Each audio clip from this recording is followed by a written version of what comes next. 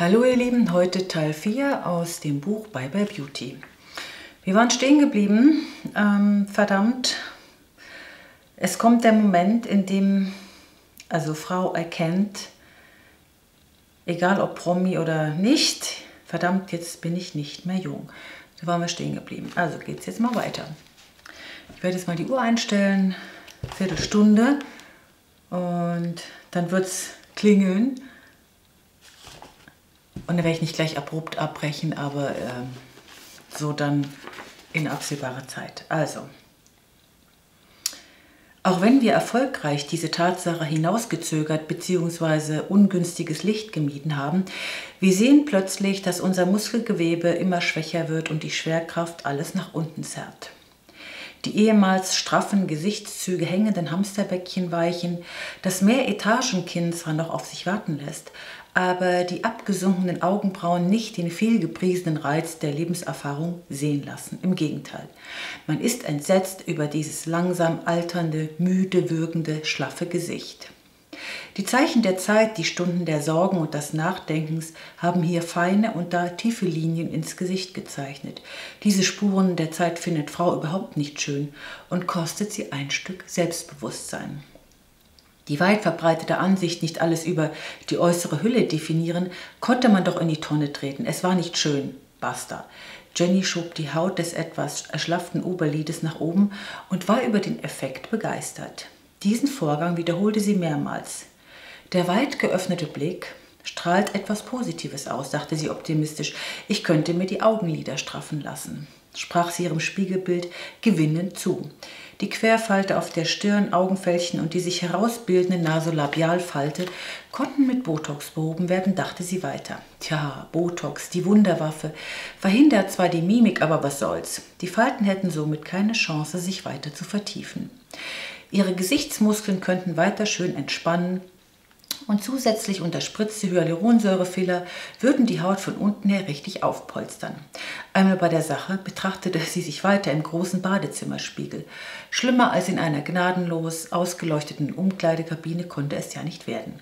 Zuerst nahm sie sich den Rücken vor, also der war noch ganz passabel. Aber der Hintern, also wie gesagt, früher, da musste sie nicht nach dem Sex auf dem Weg zum Klo die Bettdecke um die Hüften schwingen. Sie musste nicht überlegen, welche Stellung sie die vorteilhafteste sei, damit Tom ihre kleinen traurigen Brüste nicht sah, die wie leere Capri-Sonnentüten an ihr herunterhingen. Ihr Gewicht allerdings war noch in Ordnung. Jenny gehörte zu den Glücklichen, die alles essen konnte, egal was. Sie liebte Schokolade, Pasta, Pizza, Rotwein und Käse, alles Dickmacher werden die Anhänger der Weight Watchers jetzt schreien, viel zu viele Punkte und dennoch blieb es Jenny bisher erspart, sich dem kollektiven Schwitzen einer Fitnessgruppe anzuschließen oder sich in Bauchbeine-Po-Kursen herumzuquälen. Zu beanstanden gab es allerdings die Oberschenkel, an denen sich bereits eine kleine rot-blaue Flusslandschaft ausgebreitet hatte. Diese ganze Veröderei der Besenreiser brachte rein gar nichts. Das wusste Jenny von ihrer besten Freundin Hannah. Die Dinge kamen dann an anderer Stelle wieder zum Vorschein und wenn es nicht gut gemacht war, blieben lauter kleine, hässliche Knubbel zurück. Am liebsten hätte Jenny ihrem Spiegelbild zugerufen, wer bist du, hau ab, so mag ich dich nicht. Und dann erinnerte sie sich an einen Ausspruch von Betty Davis, die sagte, älter werden ist nichts für Feiglinge. Unter der heißen Dusche kam Jenny die Frage in den Sinn, wann sie eigentlich das letzte Mal gemeinsam mit Tom unter der Dusche stand. Hm, als Marie noch in den Kindergarten ging, sie wusste es nicht mehr. Im Grunde genommen waren sie ein gut situiertes, durchaus jung gebliebenes Ehepaar. Jeder hatte sich in seine Rolle ein- bzw. abgefunden und Ermüdungserscheinungen kommen in jeder guten Ehe vor, dachte sie immer. Ihr Tom war als erfolgreicher Medienmanager meistens alleine auf Reisen unterwegs. Sein interessanter, abwechslungsreicher Job als Direktor des Filmfestivals hatte ihn in die Welt der Schönen und Reichen katapultiert. Anfangs begleitete sie ihn noch liebend gerne auf diverse Abendveranstaltungen und irgendwann fragte er nicht mal mehr, ob sie Interesse daran hätte mitzukommen. Jenny war darüber auch nicht sauer. Das Publikum hatte sich verändert. Die sogenannte Schickimicki-Szene aus B- und C Promis ging ihr ziemlich auf die Nerven. Auf diesen wöchentlich stattfindenden Filmpremieren tummelten sich wichtigtuerische junge Danielas, Michaelas und Roccos herum und darauf hatte Jenny echt keinen Bock. Allerdings beim jährlichen Filmfestival wäre sie schon wieder mal ganz gerne dabei. Sie musste Tom morgen früh unbedingt sagen, dass sie dieses Mal mit ihm zusammen über den roten Teppich gehen wollte. Das Wasser prasselte auf Jenny herab und sie wünschte sich insgeheim, dass Tom plötzlich auftauchen würde, sie ihren Streit vergessen könnten und sie sich einfach liebten. Das konnte doch nicht sein, dass er sie immer nur als Anlaufstelle zum Auftanken brauchte und gelegentlich etwas lieblos über sie drüber rutschte. Ihn ständig zu umsorgen, den Rücken frei halten, Anteilnahme und Verständnis für ihn zu haben, das war so eine Gutmenschnummer und reichte Jenny eben nicht mehr aus. Und dass sie vorhin ihrem Unmut Luft gemacht hatte, das musste mal raus. Tom sollte ruhig wissen, was mit ihr los war. Dass sie ihn damit verärgert hatte, das war nun sein Problem. Jenny dachte zurück und daran, wie sie sich fühlte, wenn sie, äh, wenn sie von Rogers Ausstellungen und Erfolgen hörte. Dabei überkam sie immer, naja, so eine Art Katzenjammer. Wenn sie damals doch mit ihm nach New York gegangen wäre, so wie es abgesprochen war, hätte sie heute ein ganz anderes Leben. Wobei Jenny ja kein schlechtes Leben führte. Im Endeffekt nützte aber dieses hätte, wenn und aber nichts. Im Gegenteil. Eine Sache verfolgte Jenny bis in ihre Träume. Das war allerdings so ein Vergangenheitsding. Denn Jenny hatte schließlich auch ein Leben vor Tom. Sie wollte schon mit 18 Jahren weg aus Ostberlin, das war in den 80ern. Aber es kam anders als von Jenny erhofft. Später im Westen wurde sie Fotografin und lebte zusammen mit Roger in einer Wohngemeinschaft auf einem Berliner Hinterhof. Bei der ersten gemeinsamen Fotoausstellung in einem heruntergekommenen Fabrikgebäude begegnete sie Tom. Das Thema hieß Akt und Landschaft. Alles in Schwarz-Weiß fotografiert. Peter Lindbergh stand als großes Vorbild. Models konnten sie sich nicht leisten, also hatte Roger die Idee, Jenny nicht nur als Fotografin, sondern auch als seine Modelmuse mit einzubeziehen. Tom arbeitete damals für eine Zeitung und sollte einen Artikel über die Ausstellung schreiben. Interessiert begutachtete er ihre Arbeiten und blieb vor einem Foto verdammt lange stehen. Roger hatte Jenny auf, ein, auf dem Bauch liegend am Strand fotografiert, ihr Po hübsch rund, Salz auf der Haut und auf ihrem schönen Mund. Roger meinte noch, also nicht, dass sich der Typ in mein Model verliebt. Jenny winkte ab und sagte damals, nee, nee, lass mal gut sein. Ein Kerl steht auf meiner Wunschliste, wirklich ganz unten. Wir gehen beide nach New York. Im Laufe des Abends unterhielt sich Jenny mit dem Zeitungsmenschen Tom und es kam, wie es kommen musste. Der Funke sprang über, es knisterte zwischen ihnen beiden und machte Peng. Die berühmte Liebe auf den ersten Blick. Bingo. Seit diesem Abend waren sie unzertrennlich. Jenny schwebte auf rosaroten Liebeswolken und wollte nichts anderes als Tom. Roger ging allein nach New York und ein Jahr später kam auch schon Tochter Marie auf die Welt. Tom machte Karriere und Jenny blieb zu Hause bei ihrem Kind. Sie fand das damals in Ordnung und hätte es auch nicht anders haben wollen. In ihrer freien Zeit bemalte sie riesige Leinwände mit üppiger Farbgewalt und hatte so ihre Visionen vom Glück verewigt. Die eilende Zeit ließ sie nicht mehr richtig an sich selber glauben, und so stapelten sich in ihrem Atelier tausende Fotos und viele, viele Leinwände, ohne dass sie jemals das Licht der Öffentlichkeit erblickten. Und ihr Tom vertrat die Ansicht, dass hinter einem erfolgreichen Mann eine geduldige, hingebungsvolle Frau steht, die für alles andere als ihren eigenen Erfolg zuständig ist. Ach ja, und dann ist da noch die Sache mit dem Sex. Also um es vorsichtig auszudrücken, glich ihr Sexleben eher einer langweiligen Routine, sofern er überhaupt noch praktiziert wurde. Das vorhin, das war ein spontaner Ausrutscher, den Jenny mit ihrem Zellulite-Geschwafel versaut hatte. Jedenfalls von Regelmäßigkeit keine Spur. Weder Spontanität noch übermäßiges Verlangen aufeinander vereinigte sie, wenn erst die Kleenex-Schachtel bereitgestellt, man vorher unlustig, danach durchaus überrascht dem Höhepunkt entgegensteuerte. Wie vom Winde verweht war die gegenseitige Faszination, die sie früher miteinander verband. Tom brauchte ziemlich lange, bis er kam und Jenny, naja, sie brauchte noch länger, was dann wiederum meistens zu spät war. Und dann ist da noch Marie, ihre gemeinsame Tochter. Mit ihr hatte Jenny eigentlich die schönsten Jahre ihres Lebens verbracht. Mit stolzen 22 Jahren hatte sie das Examen als Schauspielerin fast in der Tasche und lebte mittlerweile ihr eigenes Leben.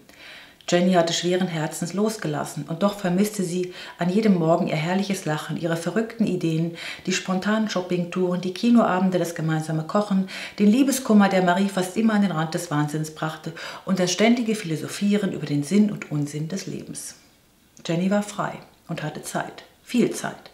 Es konnte doch nicht sein, dass es sich hauptsächlich nur, nur noch darum drehte, jeden Morgen mit Hingabe die Körperbehaarung ihres Mannes im Bad zu beseitigen oder jeden Tag ihre Kochkünste unter Beweis zu stellen, den Rotwein zu lüften und am Abend den Herren der Schöpfung zu erwarten. Tom fand das natürlich klasse. Wenn sie ihn mit einem bezaubernden Lächeln empfing, seine obligatorische Frage, was sie den ganzen Tag über gemacht habe, konnte er im Prinzip stecken lassen. Meistens wartete er nicht mal ihre Antwort ab. In seinen Augen hatte sie es doch gut und sollte froh darüber sein, dass sie nicht, sich nicht jeden Tag in diesem Haifischbecken herumtummeln musste, wie er sich ausdrückte. Sie hatte ihre Kunst, wo sie sich so richtig austoben konnte. Aus seiner Sicht hatte er ihr recht. Naja, und das bisschen Haushalt, diesen undankbaren Job, den machte sie doch mit links. Das Erfolgserlebnis hielt allerdings nur so lange an, bis er nach Hause kam und überall seine kreative Unordnung verbreitete. Hm, Jenny erinnerte sich an seine Reaktion, als sie Tom darum bat, sein Bedürfnis doch bitte nicht mehr im Stehen zu verrichten. Das fand seinerseits überhaupt keine Akzeptanz. Er meinte, dass sie doch kein sitzendes Weichei geheiratet hatte. Ihre Haut fühlte sich mittlerweile schon ganz weich und schrumpelig an. Es musste sich etwas ändern. Ab jetzt war Schluss mit diesem Trott. Tom und sie waren ein Paar und sollten das auch leben. Seine One-Man-Show konnte er in Zukunft vergessen. Es ist ja nicht so, dass Jenny ihrem Mann irgendetwas unterstellen wollte. Ihr Tom war ein richtig guter Typ. Nicht nur, dass er Muskeln an den richtigen Stellen hatte, es sah auch noch verdammt sexy aus, war witzig, intelligent, charmant und weltgewandt. So etwas gefällt auch anderen Frauen, das wusste Jenny zu gut. Und dass verheiratete Männer hm, ein besonderes Objekt der Begierde sind, ist kein Ammenmärchen. Eher so ein kann ich seine Frau ausstechen Spiel. Jenny wurde bei dem Gedanken ganz übel. Sie nahm sich vor, ihren Tom von nun an auf Partys, Empfänge und dem ganzen Glamour-Tamtam zu begleiten. Er würde sich bestimmt freuen und schob die vagen Zweifel, ob sie es denn mit den ganzen Partyboxen, Besenkammern und Teppichludern, also mit der gesamten Luderliga aufnehmen konnte, geschickt beiseite. Ihr neuestes Credo, in jeder von uns steckt eine Madonna, ermutigte sie mental, denn alles, was schön ist, muss nicht unbedingt echt sein. Schönheit ist machbar für alle auf dem Jahrmarkt der Eitelkeiten. Wenn die Natur so ungerecht zu uns ist, dann sorgt Frau eben selbst für mehr Gerechtigkeit. Diese Denkweise fand Jenny mehr als demokratisch. Illusionen hin oder her. Früher waren die Leute mit 40 schon tot. Heute leben wir eben einen langen Jugendtraum oder doch ein jünger, straffer Trauma. Leise schlich sie ins Schlafzimmer zurück und legte sich neben den schlafenden Tom. Am nächsten Morgen sprang sie voller Energie und Tatendrang aus dem Bett. Und das, was sie sich gestern Abend unter der Dusche vorgenommen hatte, wollte umgesetzt werden. Das wäre doch gelacht, wenn sie das nicht hinbekäme. Leicht durchschaubar, wie Jenny eben war, brachte sie ungewollt die morgendliche Stimmung aus dem Gleichgewicht. Mit etwas mehr Diplomatie wäre vielleicht alles gut gegangen. Zum Beispiel, wenn sie ihre schön zurechtgelegten Taktiken einfach angewendet hätte. Im Eifer des Gefechts und ihrer wiedergefundenen Euphorie plauderte sie nunmehr jedoch munter drauf los. Zwischen einem Schluck Kaffee und dem Blick in die Zeitung gerichtet fragte Tom, warum bist du denn so aufgekratzt, Liebes?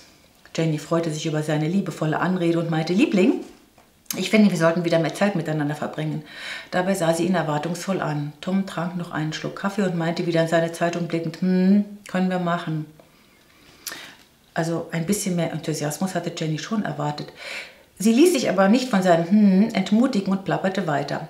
Tom, wir sind ein Paar und du bist immer allein unterwegs. Du tanzt wie ein Solotänzer auf dem Parkett der Eitelkeiten herum. Ich will auch dabei sein. Ich will mittanzen. Hörst du? Tom verschluckte sich fast an seinem Toast. Wie, wie stellst du dir das vor? Ich habe verdammt viel Arbeit, sorry, aber im Moment sieht es echt schlecht aus. Hm, sofort wurde Jenny unsicher. Irgendwie hatte sie sich das anders vorgestellt. Jetzt beschlich sie vielmehr das Gefühl, dass er überhaupt keinen Bock mehr auf sie hatte. Wie man das heute so sagte, Tom ergriff erneut das Wort. Also Jenny, mal ganz ehrlich, ich verstehe dich nicht. Was gibt es denn da nicht zu verstehen? Na, du hast doch schon lange keine Lust mehr auf diese Events, dieses Sehen und Gesehen werden. Hing dir doch zum Halse raus und jetzt überfällst du mich damit am frühen Morgen? Na, wann soll ich denn sonst mit dir reden? Er schaute genervt. Ist es jetzt ein Vorwurf? Nein, sagte Jenny und spitzte dabei ihre Lippen zu einer Schnute. Oh nein, sagte Tom, das ist genau das Gesicht, was ich vermeiden wollte. Jenny, in zwei Tagen beginnt das Festival und ich habe wirklich Stress. Gut, ich habe mich irgendwann mal so geäußert. Nun habe ich es mir eben anders überlegt. Tom sah sie fragend an. Was hast du dir anders überlegt? Naja, also übermorgen ist doch diese Veranstaltung. Na, du meinst die Eröffnungsfeier der Filmfestspiele. Ja, genau. Na, deshalb bin ich ja so im Stress. Die ganze Welt schaut auf Berlin und ich habe die Verantwortung, dass alles läuft. Ich weiß, gab sich Jenny fast schon geschlagen. Du kannst dir das vielleicht nicht vorstellen, aber jeder Star hat seine eigenen ganz persönlichen Wünsche und Befindlichkeiten. Das fängt bei der persönlichen Betreuung an und endet bei Lilien oder doch lieber weißen Rosen in der Suite. Glaub mir, Jenny, so ein Festival sind keine Ferien auf dem Ponyhof. Ich bin ja auch ganz stolz auf dich und würde es schön finden, wenn wir diesmal zusammen über den roten Teppich laufen. Ja, warum das denn? Naja, ich will mich mit dir zeigen. Tom starrte sie entgeistert an. Du willst über den roten Teppich laufen? Ja, druckste Jenny. Ich möchte mehr mit dir zusammen sein. Aber Liebes, nein, jetzt hörst du mir zu. Wir unternehmen kaum noch etwas gemeinsam und leben uns immer weiter auseinander. Also das sehe ich nicht so. Ich lese noch ein bisschen weiter. Außerdem muss ich hier mal raus aus diesem Haus. Ich will mir frischen Wind um die Nase wehen lassen. Also den Wind hast du doch jeden Tag beim Spazierengehen mit unserem Hund. Also während Tom weiter an seinem Toast herumkaute, sah Jenny ihren, na, ihren Mann nach Fassung ringend und den Tränen nahe irritiert an. Sie fühlte sich von ihm weggestoßen. An ihren entgleisten Gesichtszügen bemerkte Tom relativ schnell, dass er wohl doch nicht die richtigen Worte gewählt hatte und zu weit gegangen war. Jenny dachte, verdammt, er ist immer noch sauer. Die gestrige Nacht war wirklich ein Fiasko. Aber dass es so schlimm war, damit hatte sie nicht gerechnet. Halbherzig lenkte Tom dann doch ein und sagte, sorry Schatz, das war nicht so gemeint. Na gut, schniefte Jenny. Schau mal, ich muss mich um die Gäste, die Ansprache, um alles Mögliche kümmern. Glaub mir, du würdest dich nur langweilen. Und ich habe ehrlich gesagt keine Lust, den ganzen Abend mit einem schlechten Gewissen herumzurennen, weil du keine Gesellschaft hast. Du wärest dann enttäuscht und das wollen wir doch beide nicht. Nein, das wäre ich nicht. Wärst du doch, ich kenne dich. Also du, du tust ja gerade so, als ob ich ohne dich total aufgeschmissen bin. Naja, nee, so war das nicht gemeint. Weißt du, Tom, so ein bisschen Smalltalk fände ich zur Abwechslung mal ganz amüsant, versuchte Jenny erneut die Teilnahme am morgigen Abend immer noch hoffnungsvoll an ihren Mann zu bringen. Sie spürte jedoch instinktiv, denn dafür kannte sie ihn viel zu gut, dass er sie einfach nicht dabei haben wollte. Panik löste sich in ihr aus. Jetzt war es soweit. Empfand er sie an seiner Seite als nicht mehr vorzeigbar? Seine Ansicht, dass sie doch genug frischen Wind hätte, wenn sie mit dem Hund in Gummistiefeln über den Acker rannte, anstatt im Pöms mit ihm über den roten Teppich zu schweben, nagten schwer an ihrem Selbstwertgefühl. Jenny wollte gerade aufstehen.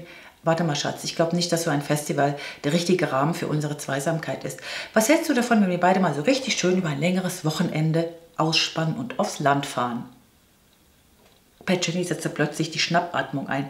Nach einer kleinen Weile antwortete sie gefasst, aufs Land? Nein, danke, davon habe ich genug. Ich will wieder raus ins Leben und dachte dabei nicht an Wanderschuhe und einsame Landgasthöfe im Havelland. Na gut, wir könnten ja nach Paris fahren.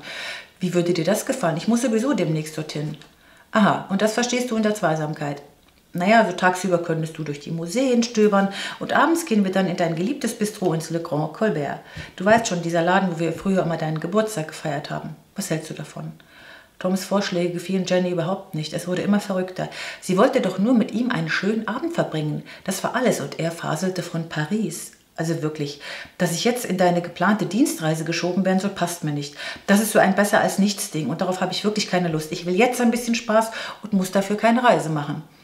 Tom stand auf, gab ihr flüchtig einen Kuss. Ich muss dann mal los, bis heute Abend dann. Das war ja der Gipfel. Er beendete die Diskussion mit einem Ich muss jetzt los. Jenny überlegte, ob es Sinn machte, ihm hinterherzulaufen. Bullshit, dachte sie und zündete sich stattdessen eine Zigarette an. Kaum zu glauben, was sich hier gerade abgespielt hatte, resümierte sie. Als Tom sich mit ihrer revolutionären Idee konfrontiert sah, machte er einfach zu. Er reagierte abweisend und wertete den Unterhaltungswert für sie bei solch einer Veranstaltung einfach ab. Jenny musste sich etwas einfallen lassen. Ihn weiterhin zu bedrängen, brachte rein gar nichts. Im Gegenteil, wenn Tom sich in die Enge getrieben fühlte, wurde er immer unzugänglicher. Sobald er Druck verspürte, dem er aus welchen Gründen auch immer nicht gewachsen war, glaubte er, dass ihm die Zügel aus der Hand genommen wurden. Ein Zustand, der keinem Mann gefiel, das war Jenny schon klar. Denn Männer wollen entscheiden, wo es lang geht und sich nicht überrumpelt fühlen. Eine kluge Frau sollte deshalb geschickt die Fäden im Hintergrund spinnen. Dem Mann das Gefühl vermitteln, dass er der Beste, Größte und Schönste sei, um dann im Finale hundertprozentig präsent zu sein. Bitte, kann er haben. Jenny war gut drauf. Emanzipation hin oder her. Nur weibliches Geschick und Intuition bringen einen weiter, dachte sie. Denn starke Frauen wirken auf Männer immer noch bedrohlich. Das geben sie in schwachen Momenten auch gerne zu, dass sie mit solchen Damen nichts anzufangen wissen. Nicht, dass sie nur das Heimchen am Herd favorisieren. Nein, nein. Ein richtiges Weib sollte es schon sein. Aber bitte nicht zu viel, Emanze. Denn so, so eine Emanze könnte den Mann ziemlich alt aussehen lassen. Im Prinzip ein verständlicher Gedanke aus männlicher Sicht.